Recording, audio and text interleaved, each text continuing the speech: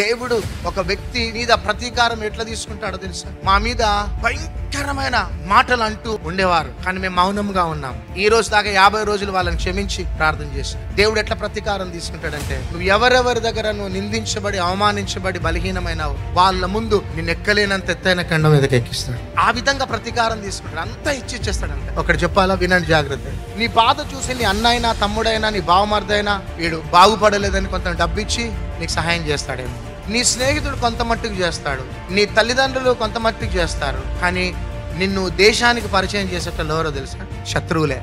మమ్మలని ప్రపంచానికి పరిచయం చేసింది ఎవరంటే శత్రువులే. బెల్లంపల్లికి ప్రపంచాన్ని తెచ్చి బెల్లంపల్లికి ఇన్ని లక్షల మందిని తెచ్చింది. మమ్మల్ని నిందించి భయంకరమైన మాటలు అన్న వారందరూ దీవించబడును గాక. వారి పిల్లలు దీవించబడును గాక. దేవుని కృప వాళ్ళ యొక్క కరుణను బట్టి దేవుడు మమ్మల్ని ఈ స్థితిలోకి తీసుకుని వచ్చినాడు. కాబట్టి ఎవ్వరు ఏమన్నా భయపడకండి ధైర్యంగా ముందుకు సాగిపోండి.